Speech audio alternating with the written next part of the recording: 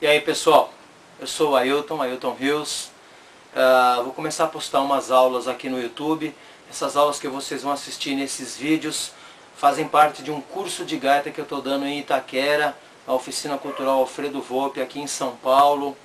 É um curso bem legal, faz parte do meu projeto de estágio, é um curso gratuito. Essas aulas vão servir também aí é, para direcionar algumas pessoas que quiseram se inscrever, mas já haviam passado o período de inscrição. Além de ter passado o período de inscrição, o número de vagas também tinha se excedido. Eu peguei até alguns alunos a mais aí. Bah, foi bem legal a aceitação do curso, a gente conseguiu o número necessário e acima dele de alunos. Neste curso, como é um curso em grupo, a gente vai utilizar uma gaita em Dó maior, a gaita de blues, né? É uma gaita de 10 orifícios, como é uma gaita em dó, em algum lugar do corpo dela, quando você for adquirir a sua, você for acompanhar essas aulas aqui, no, no nesse vídeo, a gaita que tem a letra C, tá legal? Ah, sobre alguns detalhes, é claro que no curso eu vou falar algumas coisas que não estarão aqui no YouTube. Mas vamos rapidamente ao que interessa para vocês. Como segurar a gaita, o manejo do instrumento. Normalmente, o gaitista segura com o polegar indicador, o lado esquerdo, o lado grave da gaita sempre para o lado esquerdo, tá? Deixando um espaço para os seus lábios correrem aqui, ó. Então você não segura aqui, você segura aqui, né? Aqui fica o espaço dos seus lábios. Existem dois tipos básicos de embocadura, que é a embocadura de bico ou o por cobertura, que é o tongue blocking. Né? E dentro desses dois tipos existem variações. O mais fácil para começar, eu acredito, que seja a embocadura de bico, que vocês quando compram a gaita, vem um papelzinho lá com algumas explicações até fala sobre essa embocadura. Embocadura de bico, né? É isso aqui. Você coloca a gaita entre os lábios, né? E com a parte interna, vamos dizer assim, dos lábios, você direciona o ar para o orifício que você quer extrair o som, ou soprando ou aspirando.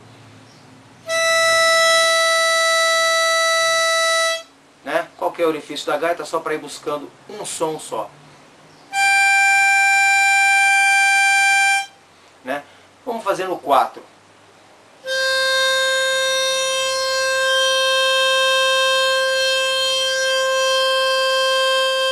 Então entre os lábios e não na frente deles.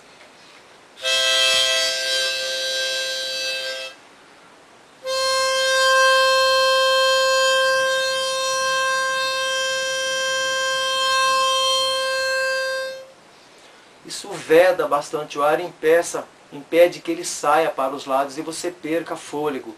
Soprar a gaita com bastante tranquilidade, a embocadura é essencial, é técnica e não força. Tá?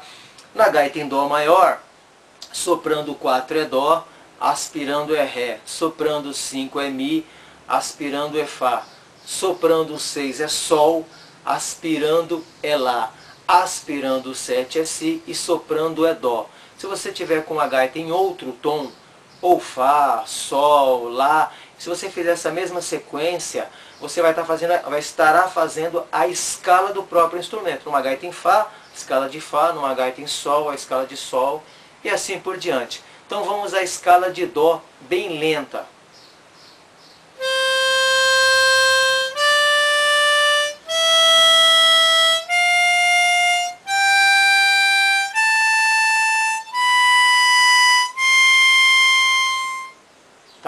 Bastante essa escala fazendo um som só e não...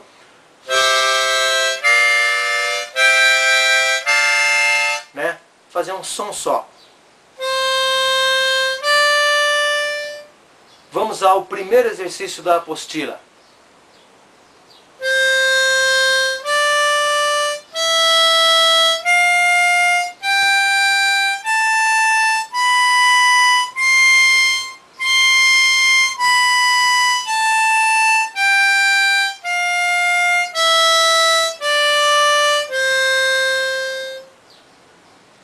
Segundo exercício.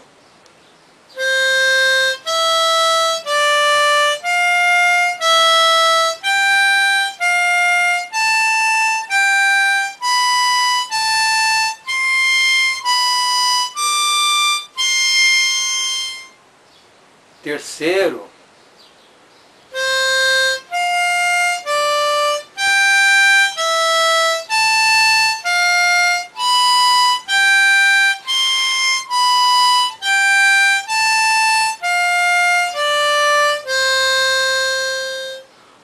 quarto exercício é uma música bem simples.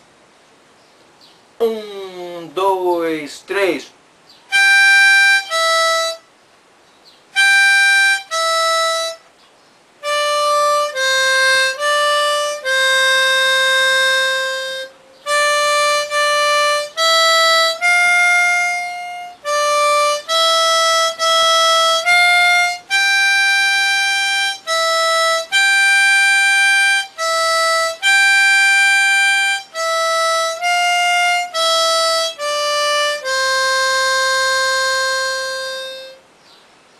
Exercício é outra canção bem simples. Um, dois, três, quatro.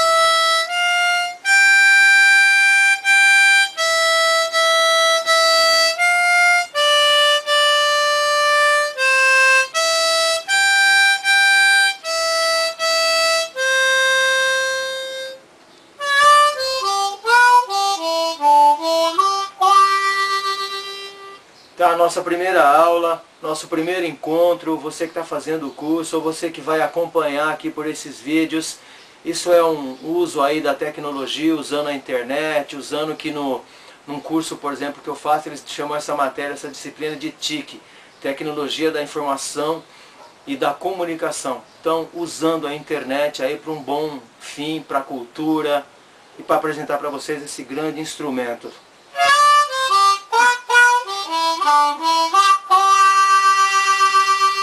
E semanalmente nós teremos um encontro aqui. Acompanhe essas aulas.